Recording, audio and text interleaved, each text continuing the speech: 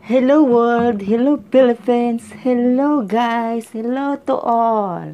Welcome back to my vlog. Ngayon guys ay bago ang lahat, nais kong magpasalamat sa lahat ng aking mga supporters at sa lahat ng aking mga kaibigan and to all of you. Thank you, thank you sa lahat ng sumusuporta sa aking channel and thank you po sa lahat dyan yun na nga guys. Yun na nga. Ingat po tayo palagi and God bless all.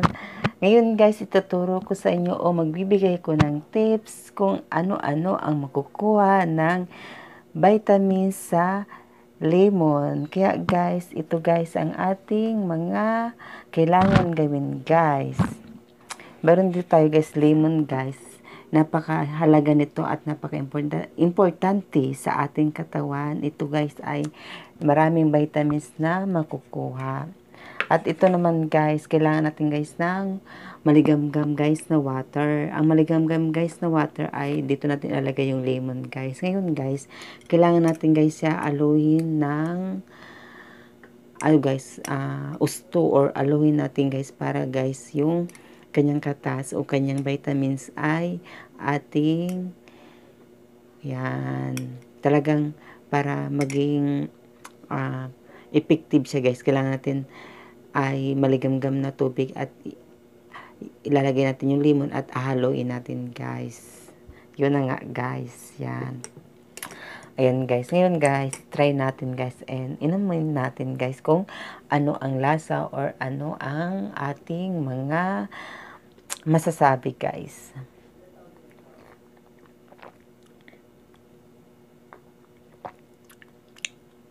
Ayun guys, lasang lasa ko guys yung lemon talaga guys kasi yung maligamgam na tubig guys, pag ginalo, ilagay natin yung lemon sa maligamgam na tubig ay napaka uh, lasa niya guys. Kumbaga the best guys yung kanyang uh, lasa guys. Masarap siya guys.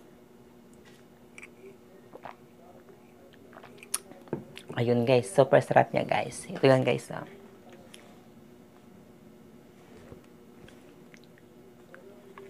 Ngayon guys, ito ang ating mga kailangan guys gawin guys o uh, kung ano ang ating mga benefits na makukuha sa lemon. Ito guys. Sampung benefits ang makukuha natin guys sa lemon guys. Ito guys ay kapakipakinabang sa ating katawan ang lemon guys. Napakaganda at super daming makukuha ang benepisyo sa lemon.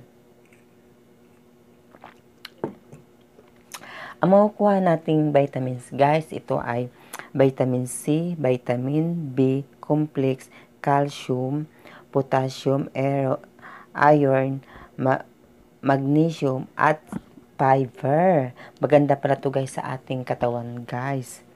Ngayon guys, kung ikaw ay mahilig sa lemon guys, ay maganda to guys sa ating katawan. At kung hindi ka naman guys mahilig sa lemon, ay ugaliin natin guys uminom ng li ng lemon every kahit every ano guys, every morning guys, tuwing umaga guys, bago tayo guys kumain guys ng 15 to 30 minutes guys before tayo kumain ng ating breakfast ay uminom tayo guys ng lemon guys para sa ating kalusugan. Ayun. Ang lemon guys ay kailangan natin siyang ihalo sa maligamgam. Ito na nga guys, ihalo natin sa maligamgam na tubig at at wag at ano guys, maaring wag tayo guys um ito ito 'yun guys.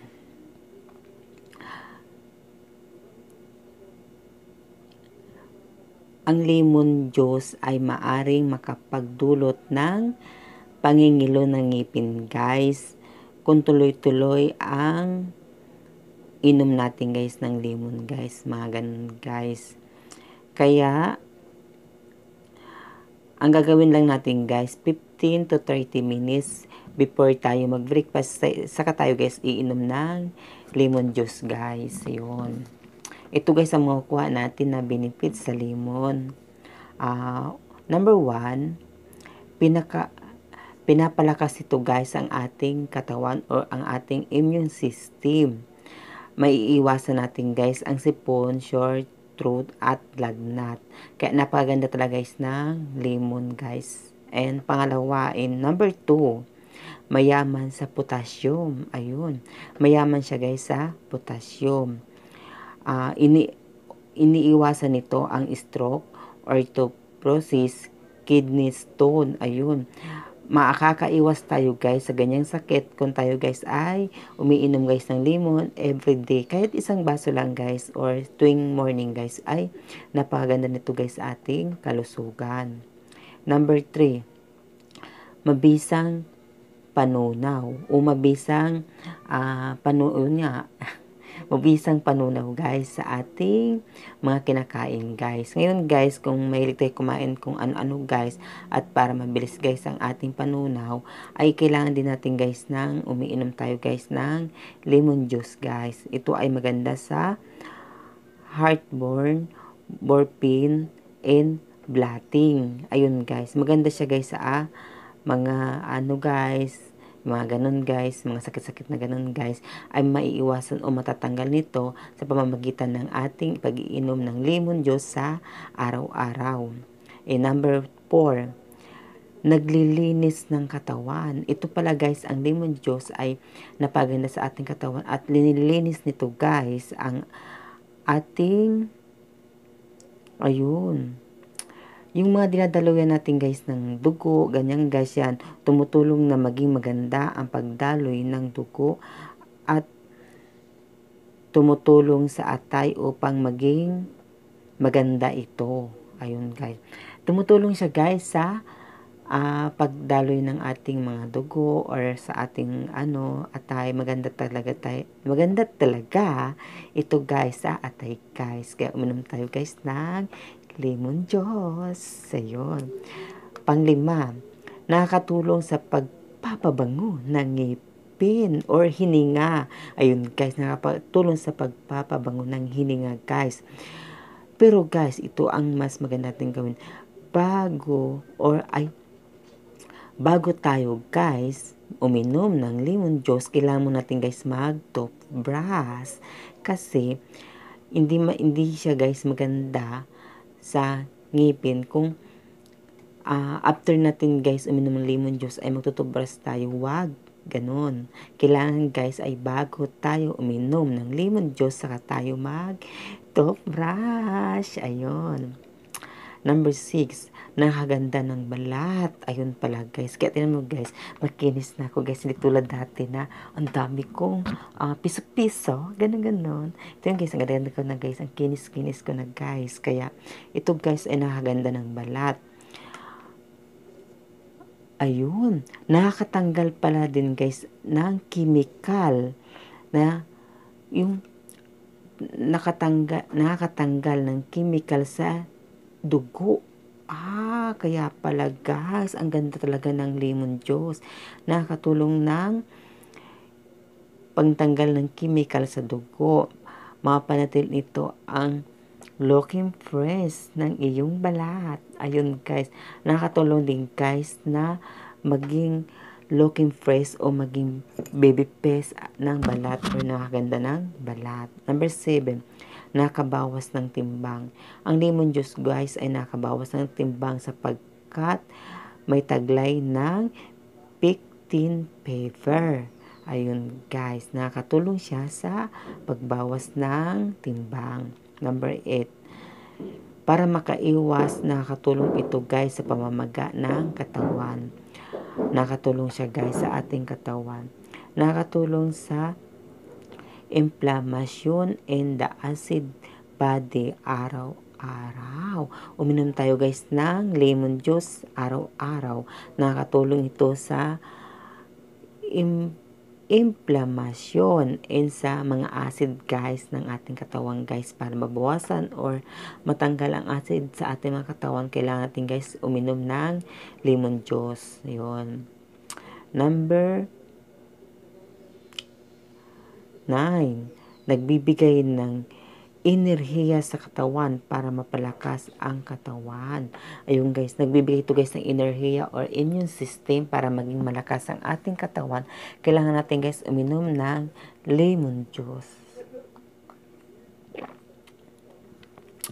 To, number 10.